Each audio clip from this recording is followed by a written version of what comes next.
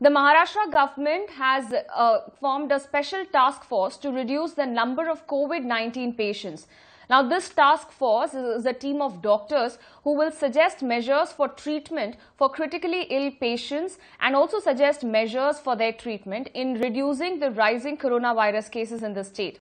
Dr. Sanjay Oak of the KEM Hospital's former dean will be leading this team with at least eight other doctors. On Monday evening, Uddhav Thackeray held a very important meeting related to coronavirus and the focus of this meeting was Mumbai because from Mumbai, a lot of cases are getting reported daily and there is a significant rise in the cases from Mumbai. So Maharashtra government has finally decided to form a task force. Uh, this task force will be of doctors, uh, former dean of KEM, Dr. Sanjay Oak will uh, be head of this task force and the main aim of this task force is uh, uh, to suggest the measures how to reduce the death rate also how to give the treatment to the comorbid patients uh, who are there admitted uh, already in uh, the government hospitals. Government has also zeroed down six hospitals as a COVID-19 special hospitals. Authorities in Mumbai are trying every bit to curb the rising number of coronavirus cases in the city. Now, after forming a special task force, the police have now deployed drones to ensure that lockdown rules are strictly followed.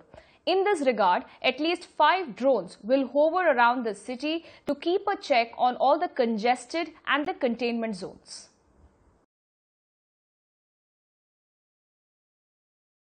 Mumbai police will now take the help of drones to ensure that people maintain social distancing and there are no lockdown violations in the city. For that, one drone is given to every region in the city. There are total five regions in Mumbai and these uh, drones will hover over congested areas, contained areas, hotspots, red zones, sealed areas and specifically those areas from where in the past Mumbai police has received several lockdown violation complaints.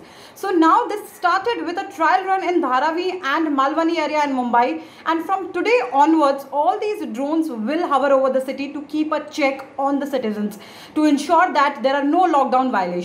Apart from this there will be two to three spare uh, drones available with the police headquarters which will be deployed as per the requirement.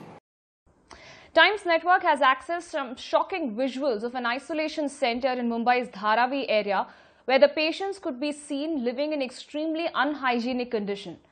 Times Network's Kajal Iyer gets us more details. The situation at Dharavi's Rajiv Gandhi Sports Complex, which is an isolation facility for high-risk contacts of those who tested positive, is very unhygienic.